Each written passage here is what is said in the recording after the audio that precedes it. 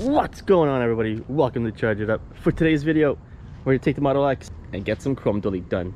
Let's go. I'm super excited about this one. Let's get at it. Alright, yes, the Model X is going back to Complex Auto Designs and they're gonna actually to take care of the chrome delete with a few additions. Not gonna tell you exactly what it is, but one thing I'm gonna say, it is definitely gonna be a chrome delete. So all the chrome that you see on the car currently will be gone. But yeah everything that's chrome is going to be blacked out and we'll go from there. Like i said i'll have a few additions that i'm going to actually add on. We'll see how that goes. Taking it to complex auto designs this morning and then we'll possibly get it back either late tonight or tomorrow. Alright guys, the Model X is back from Complex Auto Designs. The chrome delete is completed with a few additions. Let's go ahead and go through what has changed on the Model X. Starting from the front, the chrome piece underneath the Tesla logo has been blacked out, so that's now gloss black, so that looks like nice. And there's a little bit of addition right there with the carbon fiber on the Tesla logo. Also on the front, we got on the bottom of the bumper, we had two pieces right here that were chrome. These are now blacked out as well. As you can see, there's a little bit of chrome in the actual headlight. That might be a future project where I open up the headlight and turn that into black as well, but we'll see what happens in the future. So that is done on both sides of the front end of the Model X. Let's go ahead and move to the side. And as we move to the side here, we've got the camera slash repeater cover, and that is carbon fiber now. And as we move to the side, as you can see, this entire piece, the trim, the entire chrome piece has now turned to gloss black to match the car as of right now. That looks beautiful. I like, I love the way that looks. Looks really nice. As we move to the side of the car, as you can see here, the door handles are carbon fiber. Got some carbon fiber. Those used to be chrome as well. So those are carbon fiber. Move to the back ender here. Obviously this is continued with the gloss black to match the color of the car for now at least. Then as we get to the rear, the spoiler.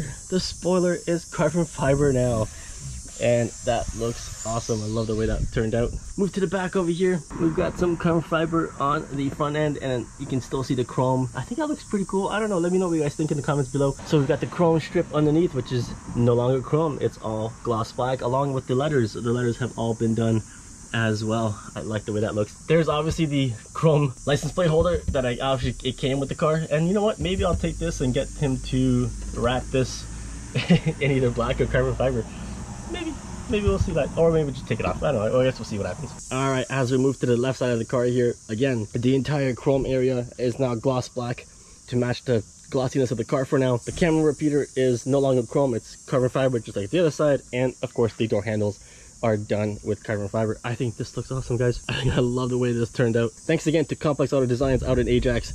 I'll put their information in the description below. Let me know what you guys think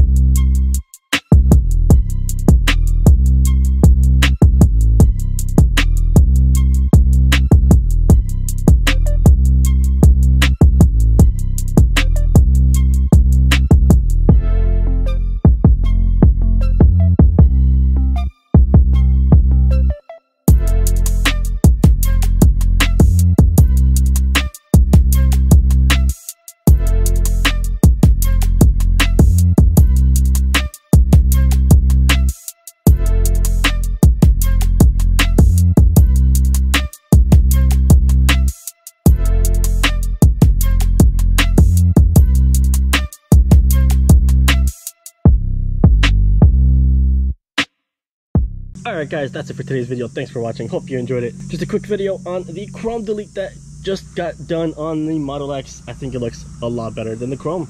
in my opinion. Let me know what you guys think down below. Thanks for watching, guys. If you enjoyed this video, hit that like button, hit that subscribe button if you haven't already, and hit the notification bell for future videos with the Model X. Until the next one, guys.